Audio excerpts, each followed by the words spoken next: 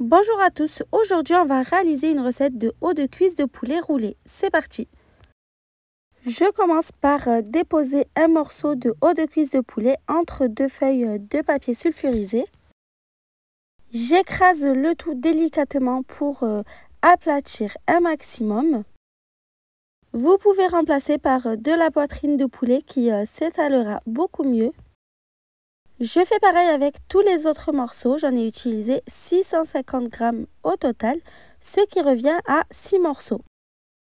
Je dépose le tout dans un récipient pour euh, pouvoir bien les mariner. J'ajoute un beau filet d'huile d'olive, une cuillère à soupe de moutarde, du sel, un petit peu d'ail en poudre, un peu de poivre et enfin des herbes de Provence. Évidemment, comme je le dis euh, toujours, vous pouvez mettre les épices de votre choix.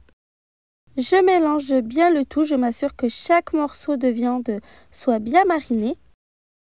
J'étale les morceaux sur un plateau et je réserve au frais environ 30 minutes.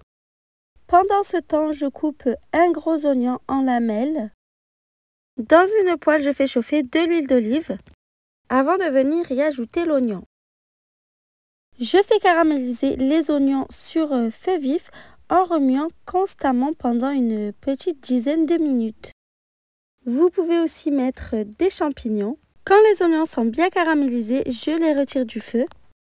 Je badigeonne un moule à gratin avec un petit peu d'huile d'olive.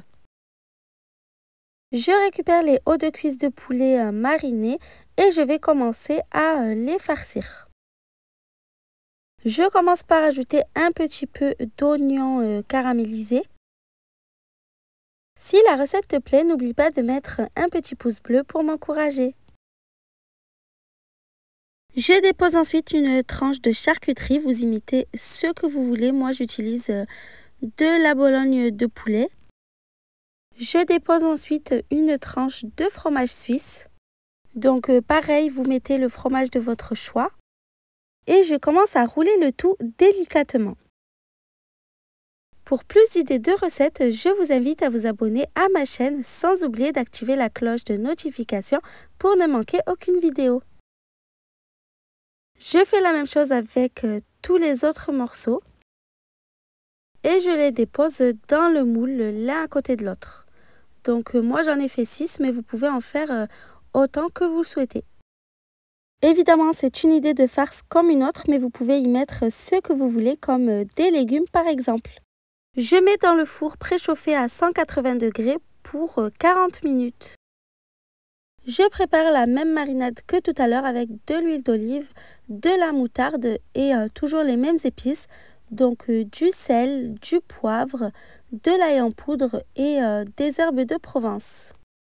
Et je mélange le tout. Donc euh, surtout si vous utilisez la poitrine de poulet à la place des cuisses qui a tendance à être beaucoup plus sèche, c'est très important de venir plusieurs fois pendant la cuisson étaler un peu de marinade par-dessus. Moi je le fais qu'une seule fois au bout de 30 minutes de cuisson. L'avantage avec les cuisses, c'est qu'elles restent toujours bien tendres. Je trouve que c'est la meilleure viande à utiliser pour cette recette. Après les 10 minutes supplémentaires au four, c'est enfin cuit. C'est le moment de déguster.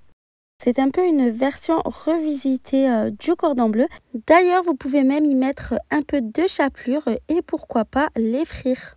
C'est super euh, bon et tendre, je pense que vous allez beaucoup apprécier.